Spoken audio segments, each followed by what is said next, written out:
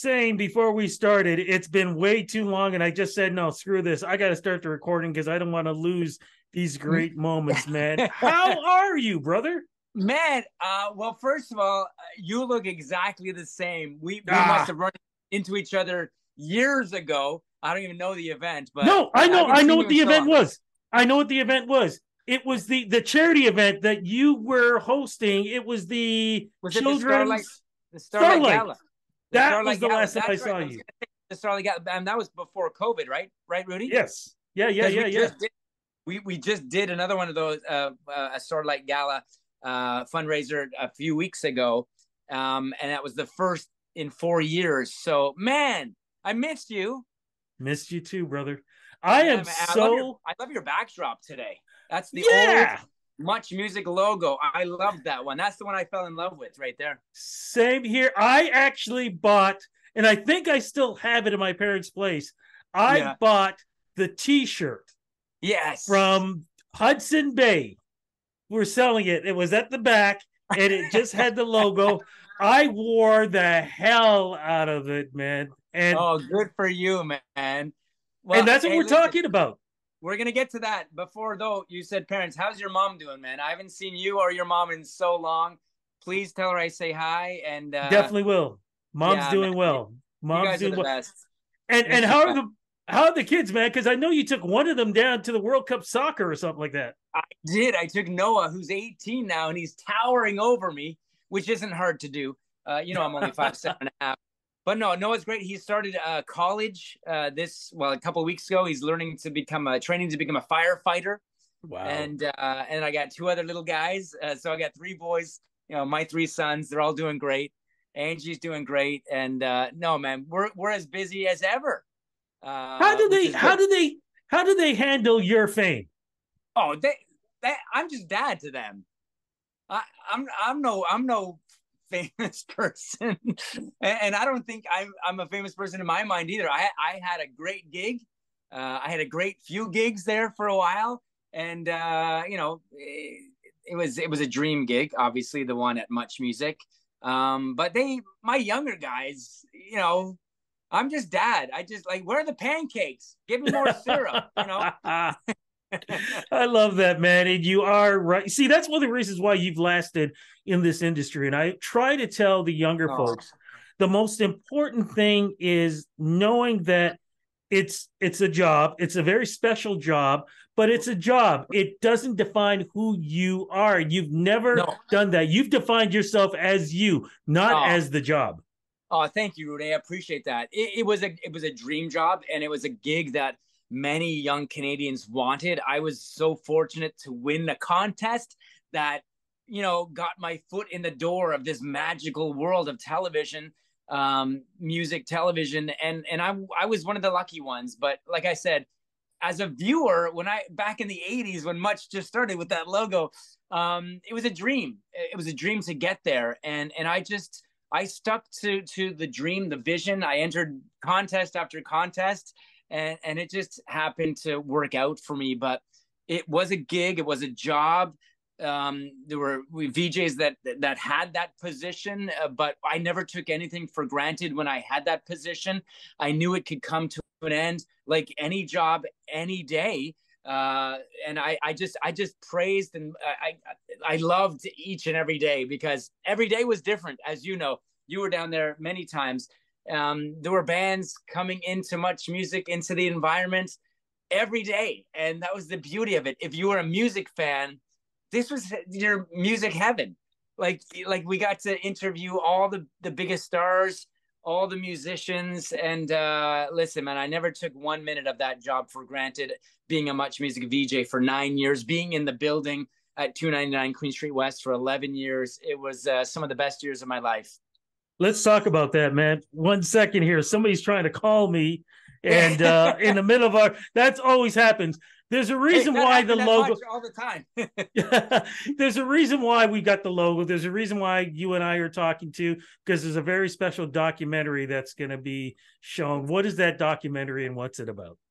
it, it you know it brought tons of goosebumps to to my whole body when I saw it down in Austin for uh, at South by Southwest. 299 Queen Street West is the Much Music documentary that uh, tells the story um, all the way back when it was just an idea in Moses's mind and John Martin's mm-hmm. mind. Um, uh, the new music had been around with Jeannie Becker and JD Roberts, and then comes this 24 hour music station in in the US, which we all know to be MTV. Well, they wanted their own. Can, can, they wanted Canada uh, to have something similar, and this whole idea was the brainchild of John Martin and Moses Znaimer, and it and it uh, and it just came to be in in the mid 90s well sorry 80s i i got there in the 90s uh, 1984 um, which when it was launched so so sean menard the director of the documentary goes back to those early days and shows us all how it all started how it all began i know there are a lot of us that are are not familiar with how it all began for much music we were just there in the heyday but um, he takes us right back to the very beginning, all the way up until the very end. I was questioning myself the other day. I'm going, wait, wait a minute. Much music isn't still on television, is it? I know it's a, it's big on TikTok right now and social mm-hmm. media, but but I don't even know what, what, happened. I was long gone by the time it all went downhill. Um, I was at ET Canada at the time, but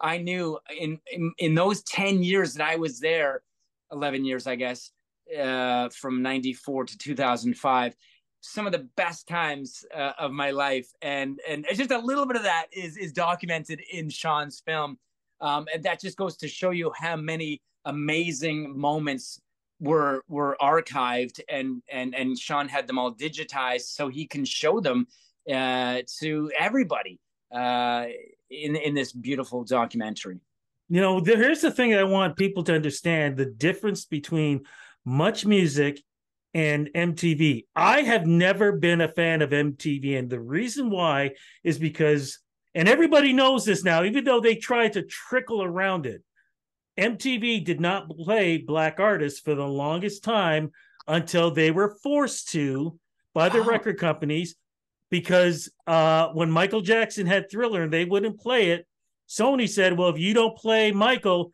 you're not playing any of our videos. Same thing happened with Prince. You're not playing Prince. We're going to pull all our videos. And they were forced to play the videos. When it came to much well, music, there was never a problem. They played everything and everybody. We played everybody, every genre. And that's what I think made much music so special. Going back now to that story that you just told me, I had no idea, Rudy. But now it's making more and more sense as we just witnessed the MTV VMAs coming to an end, the 39th annual. Um, well, that first one back in 1984, Michael Jackson's Thriller didn't win for Best Video of the Year. It was The Cars, and no disrespect to Ric Ocasek and The Cars, mm-hmm. but um, The Cars video uh, for I think you might think won yeah. over Michael Jackson's Thriller, and it all makes sense now from that story that you just told me. I didn't know that. I didn't know, and and and and I I didn't even that didn't even cross my mind when it came to much music because I was I was I tuned in religiously as a teenager to much and we'd see all the artists. We'd see the white artists, we'd see the black artists, we'd see all genres. They much music played everything that we as viewers, as fans of music wanted to see. There was no restrictions. Um, Speak, I, I, didn't and, and speaking of thriller, do you remember when everybody rushed home to watch much much music when they were going to debut the thriller video? I totally remember. I, I totally I was one of those kids that rushed home. I even I even the next day or the next week at school got all my friends to act out the parts in the thriller video. Of course, I was Michael Jackson. Dude, I'll never forget moments like that. Those those shaped us as music lovers, you know. And for yourself though, as a as a much music VJ, a veteran, you were something special. And the reason why I say oh. that is because technically you should not have made it. As you said, you were shorter, you had a squeaky voice, you had the baby face look, and you've got guys like JD Roberts and Michael Williams, oh. and you know, like you had all the these legend. people had this yeah, this legend, legendary look, legendary voice, legendary uh, approach, and then yeah. here you are, no Rick doubt. the temp, and then you just kill it when you what? finally get your opportunity. What was it about your drive and your work ethic that got you to the position where you were, where after you left, you ended up on ET Canada? Rudy, first of all, you're too kind, man. You're so sweet. Thank you for the nice words. Um, what was it? I, I, I just loved music, man. I had my thumb on the pulse of what was going on in the world of music when I was a teenager. I knew everything about everyone. Not so much these days, but back then I did. And I think I think I just ran with that. I ran with it. When I got my foot in the door after winning the Temp contest in 1994, I wanted to prove to the Much Music brass that I was able and capable and and and and and had the knowledge like Steve before me and Erica before me and Master T and Michael Williams and Christopher Ward and JD Roberts and that list goes on and on. Because don't forget Bill Welychka. Don't forget and Bill. Bill and of course, Bill. Of course, Bill. But those were the pioneers in my mind. I just loved what they were doing, and I just, I just on a daily basis tried to get to that level of of their uh, expertise and professionalism. And you're right; they were the legends. And then this kid, punk kid from Hamilton, comes along. But I, I, don't know, man. I I uh, I always loved interacting with the viewers. I, I I always felt it was imperative to make that connection with the viewers. I think because I wasn't the the JD Roberts or the Steve Anthony, the the untouchables, let's just say. Because yeah. those guys, come on, and Erica and and they, they, were untouchable. Come on, they were like they were ahead of their time. Denise Donlon, more, we can't forget Denise Donlon, and of course Denise Donlon, who hired me back in 1996 to become a VJ. But you're right, all those names. There's so many of great, those great names. I think I was more of like uh, a hands-on, you know, fan of music viewer, more of a viewer. I got along, you know, and I, you know, I could I could be a viewer's best friend.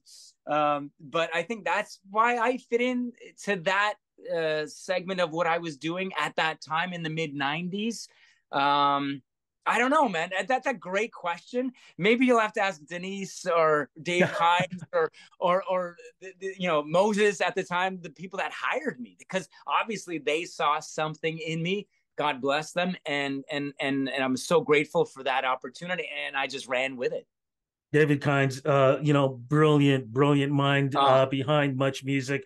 Um, but one of the things that um, you and I have been in this business for so long, so um, you I probably you a lot this... longer, Rudy. You a lot uh, longer, but you still look amazing. Uh, you too, my friend. You and I both know that doing these interviews, especially when they're live, it's not easy. So, yeah. what would you say off the top of your head? Because there are probably so many what was the most fun interview that you had and what was the most difficult because as we know you never know what's going on with these artists or stars yeah. that day and they could be in the most miserable mood and no matter what you do they'll sit there and look oh, yeah. at you or whatever good question you have they want to just tear you to pieces they do and they want to they'll just give you the one word answers yeah oh yeah. yeah we've had our share of those I think the most fun I ever had, and I never pictured this. I never saw this coming because I'm an alt rock guy. I like I like that genre. That's my go-to genre: the Chili Peppers, Stone Temple Pilots, Pearl Jam, uh, you know, Nirvana back in the day. But I had a lot of fun with those boy bands. I really did, and I know you did as well. but there was something about that. We had tons of fun with NSYNC. We had tons of fun with the Backstreet Boys. We had tons of fun with 98 Degrees with Soul Decision, and and there was a lot of boy bands in the late yeah. '90s. It was an explosion of them. Um, some of my, my my my most fun uh, interviews were with those guys because we talked to them so much. We knew each other. We knew where each other was going. We we could we could pick fun. We can have a little fun at their expense with those types of uh, bands. So so definitely those guys, and then of course all the other bubblegum pop queens mm-hmm. out there, Christina's and the Britneys and the Jessicas, uh, Simpsons. So I had a lot of fun with that genre. Um, I was I was sort of pigeonholed into that genre, um, you know, not not not not forced, but it, it always you know whenever whenever uh, they came to town, it was like okay, well let's get Rick to do them. Um, and it was great. It was great fun. I, I loved every minute of those interviews. Now, now going back to your the second part of your question, the most yeah. difficult, the most difficult ones I would say were when those Britpop bands came into town because those mm. Britpop bands are too cool for school. You know it. Yeah. I know it. Yeah. The viewers know it. The fans of their music knew it. So the Oasises, the the Blurs, oh. Uh, you know, oh! the Gorillaz. Remind me to ever tell you a story about the, the Blur. Oh yeah, goodness. I want to hear it. I, I, probably heard it before, but I know exactly where you're going. Oh my goodness, Blur! right? You're absolutely right with Blur. Blur was a nightmare to interview. I remember, I can't remember which member it was, but he was bombed well, out of his head. Damon probably probably drunk out of his head. Every time I asked a question, he he kept diverting it to he wanted me to take him to the Eaton Center to buy carpets that he claims his aunt lives in Mississauga and he wanted us to go and bring it. So I was willing to do it. Cool the PR person's going, Don't you dare leave, don't you dare leave. Another member comes in and he's just like, Yeah, no, yeah, no, yeah, no. Strange, very bizarre. So I had the interview and I've never aired it. Oh, but oh, no. you got to air it. I never aired it. But later on, I did another interview with them. I played it for them and they're just like, oh, we're so sorry. We're they, so... they had sobered up at that point. Uh, exactly. We apologize for, for everything we've said.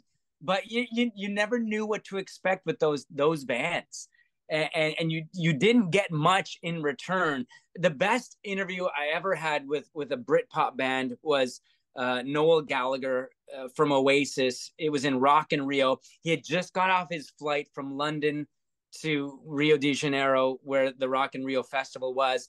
He was a little into the sauce, so he was very talkative at this point, and he's talking about all the genres that were at this Rock in Rio. It's Rock in Rio, but we have Britney Spears and we have NSYNC here.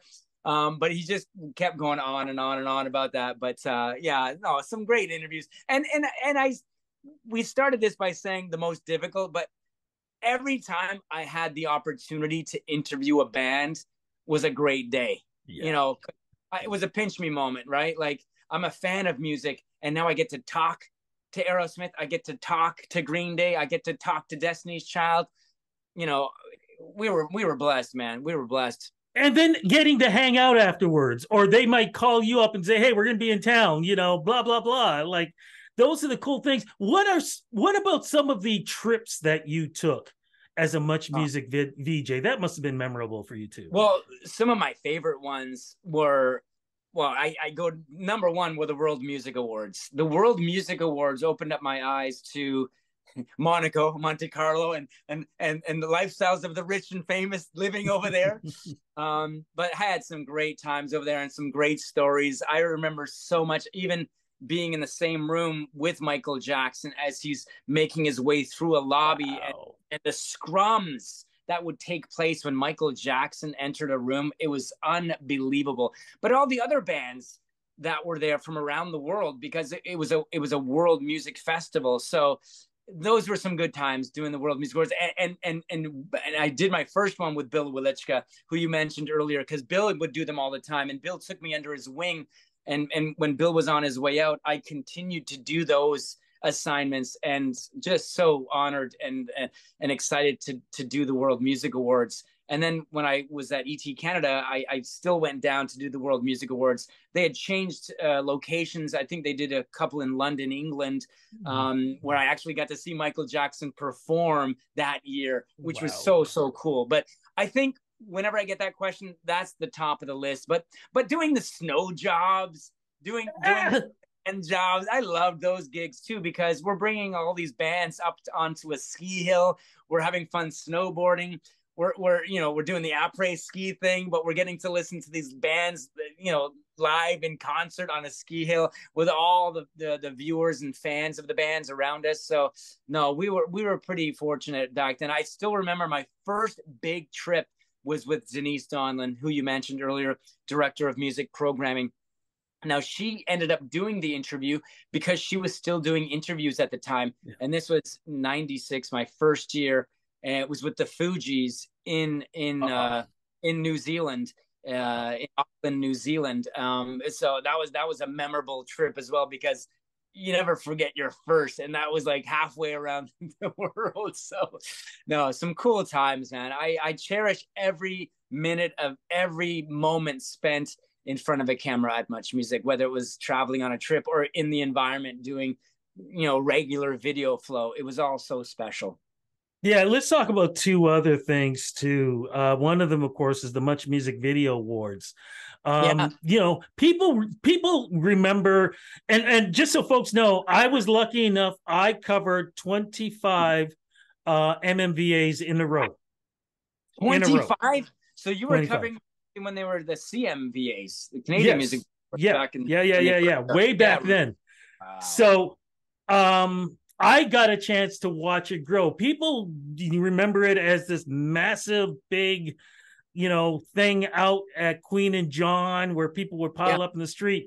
I yeah. remember it as more of the inside where you could walk around and yeah. you can bump into uh this person and bump into that person and do and easily just do an interview. Talk a little bit about that because that's something folks never really got to see on yes. the inside back then. Yeah, you're right, Rudy. That they, I think they stopped that after a while. Um, yeah, or did I don't know. I left in 2000. No, they did. They, they did. They did stop it. Unfortunately, yeah. something must have happened. But you're right. Back in the day, and I'm remembering my first MMVAs. Well, I was a wrangler for Sarah McLachlan when in '95 when I was behind the scenes still, and it was such a special show because you're I'm bumping into the guys in Our Lady Peace and Bass Is Base, and I'm I'm wrangling Sarah McLachlan. Now back then it was more Canadian artists, and I still remember my first year co-hosting because all the VJs co-hosted this show. Um, mm-hmm.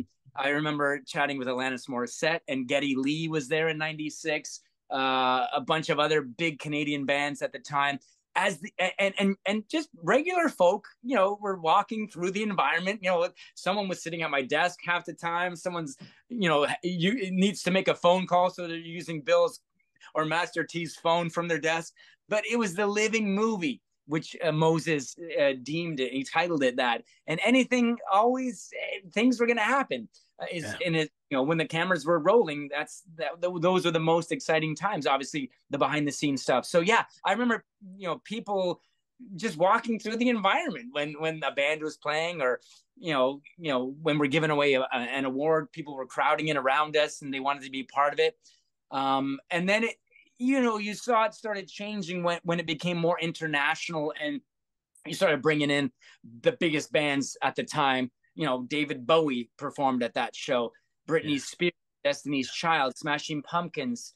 Uh, the list that list goes on and on. I think when they started bringing those those A list, I guess you can say A list acts in, um, the the the regular Joe making their yeah. way around the environment, you, you you didn't see that as much or you probably saw more security and it just wasn't the same. But you're right. Back when it first started as a CMVS, and I wanted to be there too because I was a viewer. I was uh, I was I was watching it from home in Hamilton. Um, it was just like a big uh, a big indie party. Like yeah. you know, you know, you just all these friends, all these music lovers are there to celebrate Canadian music.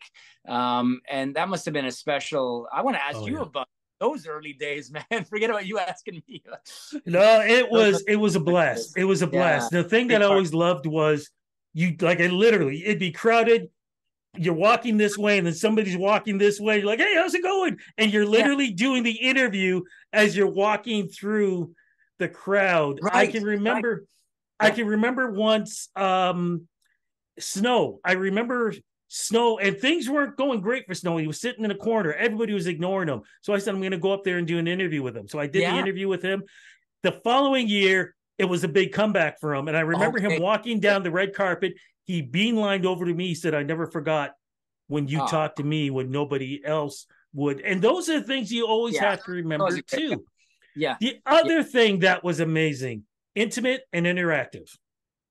Oh, I remember when it was just like the Tea Party or Our Lady Peace, and then suddenly yeah. it was yeah. Madonna. It was yeah. um uh uh it, hold on, Madonna.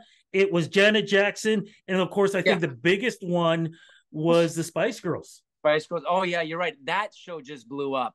And that show was such a special flagship show for Much Music because unlike the MMVAs where the people are there wandering around, well now the fans of these artists are there getting to interact with Janet Jackson, getting to interact with Madonna and interact with the Spice Girls by asking them questions, by being right there, feet away from their performances. Those were very special shows. And I was talking to someone about this yesterday. They thought they were they were more frequent, but they weren't that frequent. Those no. shows, three or four every year, but they started going for the biggest acts in the world, and they were landing them. Much music, they landed those big acts because people, artists, musicians, there was something about much music over MTV that they really had a strong connection with. Uh, you know, I, I don't know whether it was, I can't explain it. I think Sean goes on to explain it in the doc, the, the, the perceptions between MTV and much music. But I think artists really loved coming up to Canada, loved coming oh, yeah. up to Toronto, um, yes. hanging out with us Canadians. And, um, and we were street front, you know, street front. So, so people were always gathered around. I know down at MTV, so I'd been there several times too. It's on the second floor in Times Square. It's not as accessible. You know, you're looking up, but do you really see anything that's happening in those studios? No. Well, on Queen, on John, you were right there. You know, and most of the times we were open up opening up those windows.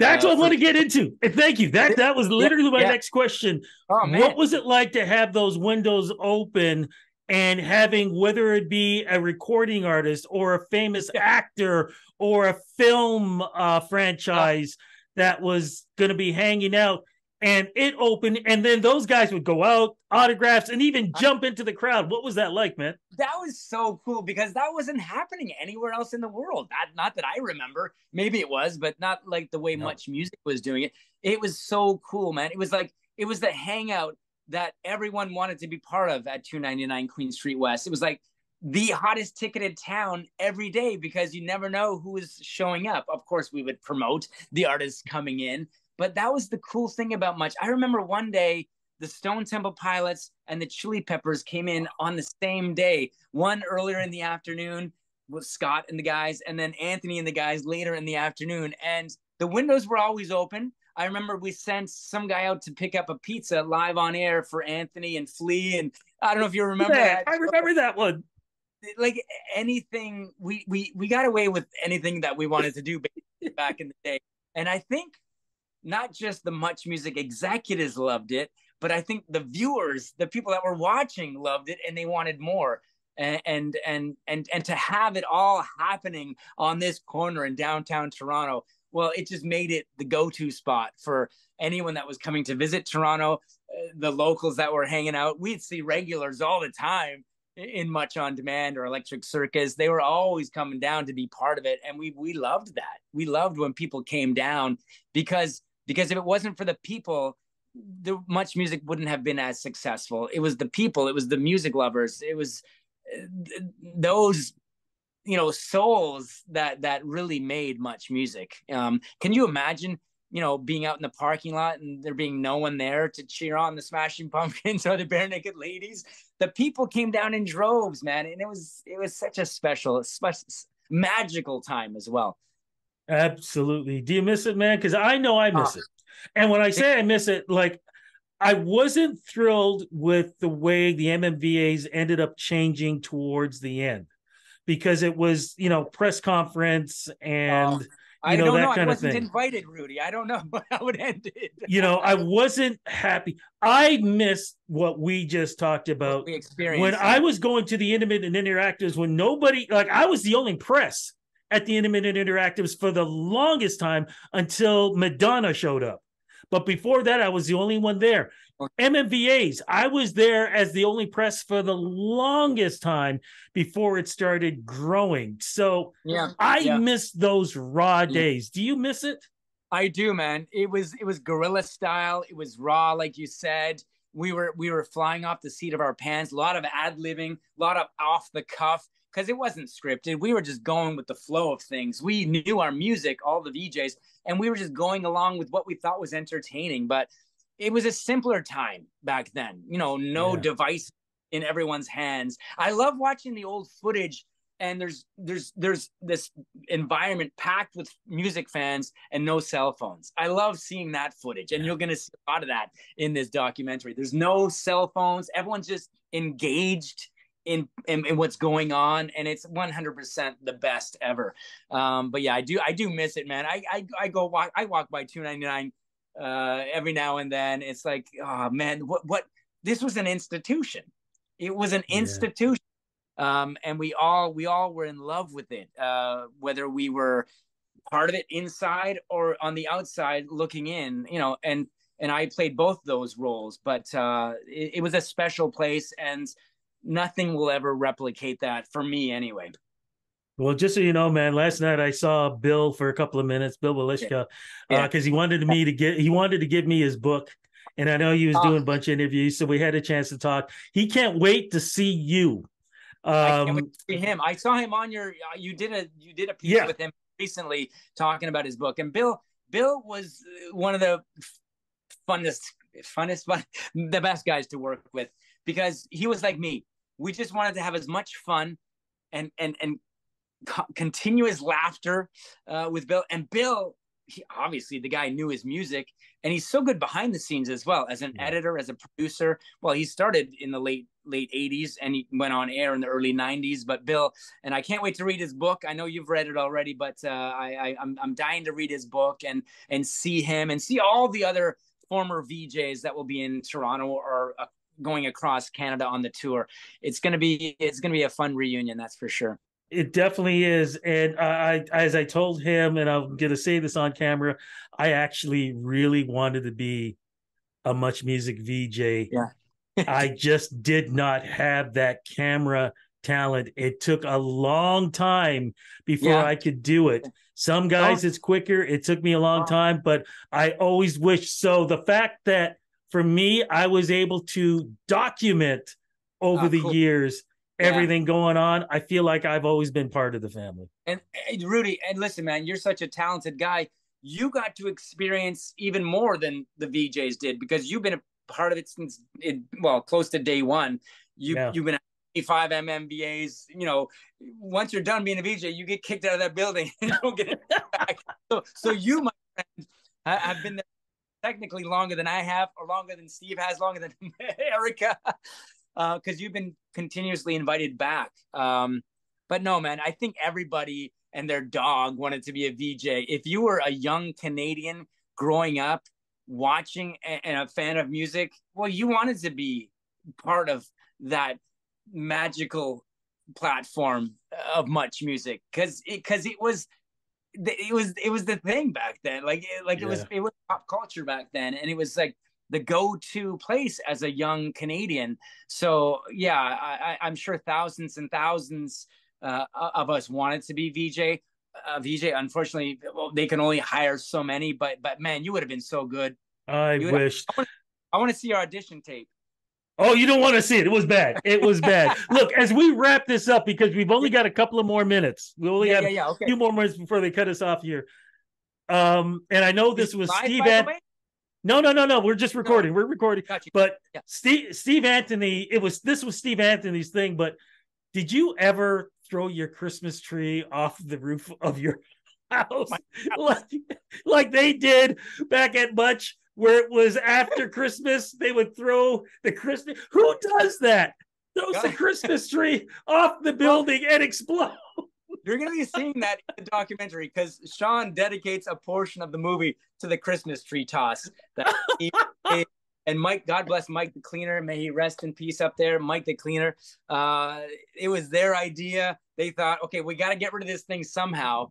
So yeah, it was so bizarre when you first started watching it, but I grew into it, and I, I was fortunate enough to take over and you know, when Steve left, well, I got to do it. And it was, such an honor to chuck that tree off that roof. But would I ever do that at my own house? crazy. Oh man. They turned that into a big production over the years too, right? Yeah. Yeah. Oh. It was the big build up and then they did it. So brother, I gotta tell you, man. Yeah. We would call in musicians to play the national anthem. Gil Moore from Triumph, I forget who it was. Good man, time. This that's the beauty of much music, man. We did what we felt was right. uh, you know, I would I would watch Steve Anthony religiously, you know, growing up because I just thought he was so entertaining. I was, was. in it for the video, but then after after a while, it's like I want to see what these VJs are up to because they're so entertaining and they're so cool, and I want to be one.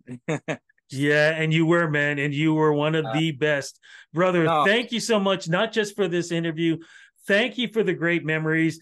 I mean, honestly, you and I could probably go on for the next six, seven, eight hours, but uh, people are going to get off camera. Yeah, exactly.